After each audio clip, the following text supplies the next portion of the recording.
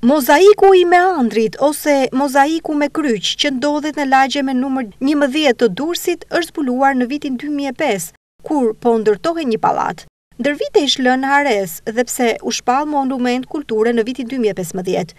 Ky mozaik ka dalë në dritë dhe është kërkuar zhvendosja e tij pranë Muzeut Arkeologjik të Durrësit. Lajmin e ka bërë me dije kryetarja e bashkisë me anë të një postimi në rrjetet sociale.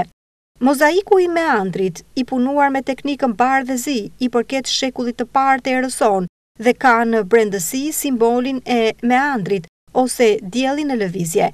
Ka formën e kryqit të thyer dhe pjesë e këtij simboli mitologjik janë dhe shenjat e rufeve.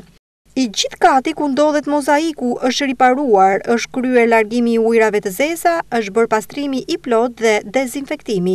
Në bashkëpunim me Ministrinë e Kulturës, kemi kërkuar të realizohet zhvendosja e këtij mozaiku drejt Muzeut Arkeologjik të Durrësit, në mënyrë që ai të vizitohet nga qytetarët dhe turistët e shumtë që vizitojnë qytetin tonë, sepse ai është një aset me vlera të mëdha arkeologjike i Durrësit, bën me dije kryetarja e bashkisë Emiriana Sako me anë të një postimi në rrjetet sociale.